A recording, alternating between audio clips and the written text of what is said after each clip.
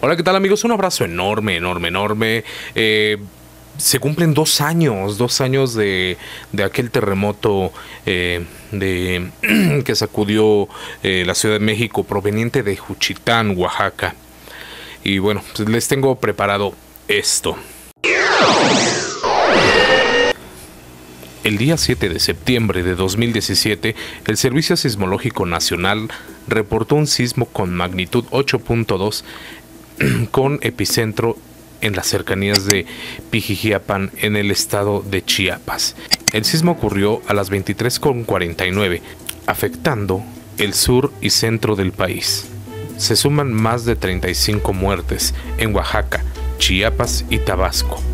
Según el gobernador de Oaxaca, Alejandro Murat, el impacto más importante fue en la región del Istmo de Tehuantepec e indicó que 17 de los, 20, de los 23 muertos en ese momento en el estado estaban en Juchitán de Zaragoza, ubicado en la zona geográfica. En ese momento se emitió la declaratoria de emergencia en 41 municipios de Oaxaca y Juchitán en situación crítica. En tanto, en Chiapas, el secretario de Protección Estatal, Luis Miguel García, reportó siete decesos, de los cuales tres son en el municipio de San Cristóbal de las Casas, dos en Villaflores y uno en el en Pijijiapan y otro más en Jiquipilas. De manera preliminar, los, las autoridades de protección civil dieron a conocer que las afectaciones se registraron principalmente en los municipios de Tonalá, San Cristóbal y Comitán, donde reportaron viviendas afectadas, caídas de bardas, afectaciones en repellos y daños parciales que no ponen en riesgo la integridad física de la población.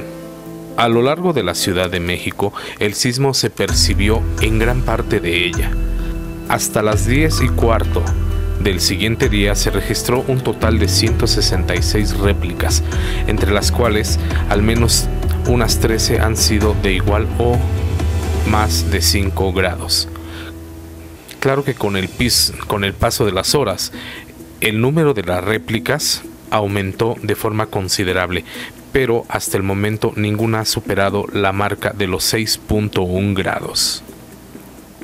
Protección Civil de la Ciudad de México reportó que ningún edificio o estructura había sido dañada con, de consideración, pero estas estructuras ya habrían quedado sensibles para lo que se vendría 12 días después.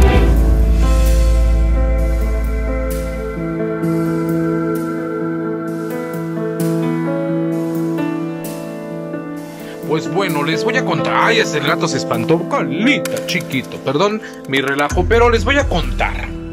Em, yo, yo estaba aquí. Este, este sigue siendo mi cuarto desde que, desde que llegué aquí. Son, los, son las manchas y rayones que mi hija ha hecho eh, cuando estaba más chiquita, porque deberíamos hacer algo.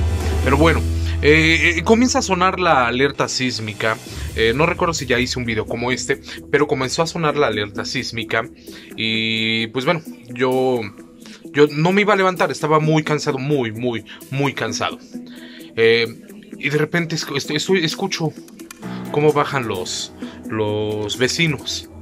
Y, pensé, bueno, si no voy a grabar, si no grabo, si no grabo yo, ¿quién lo va a hacer? Y fue cuando de repente pues decidí levantarme. Eh, eh, aquí al lado de esta es una mesa, una mesa, perdón, es una silla donde normalmente tengo mi teléfono puesto, eh, descansando, lo, lo agarro, me pongo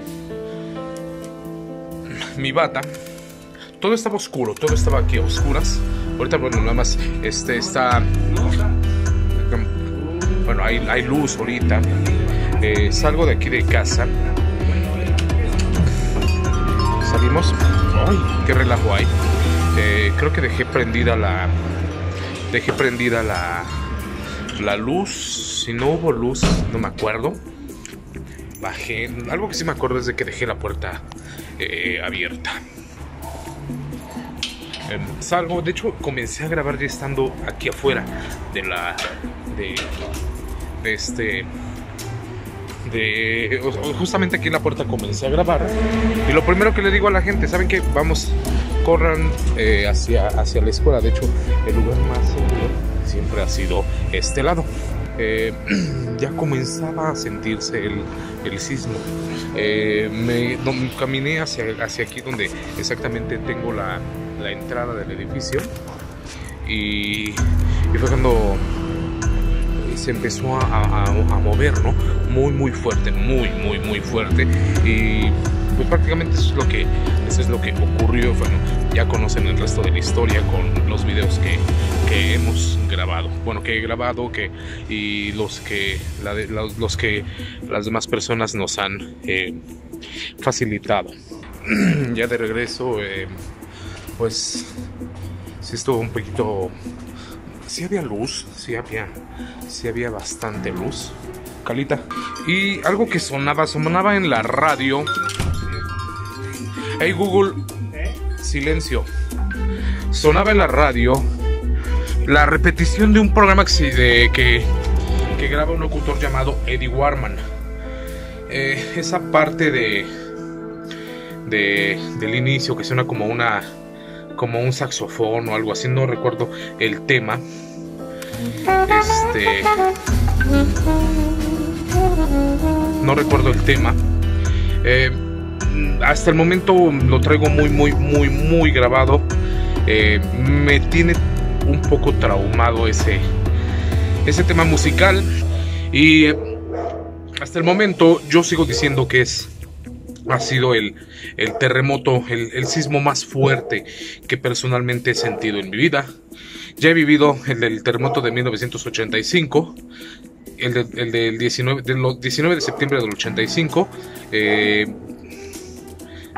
creo que 21 de marzo del 2002, 23 de marzo del 2002, 19 eh, de septiembre de 2017, pero el que más fuerte personalmente he sentido fue el del este 7 de septiembre de 2017 que devastó Juchitán y pues digamos que le preparó el terreno a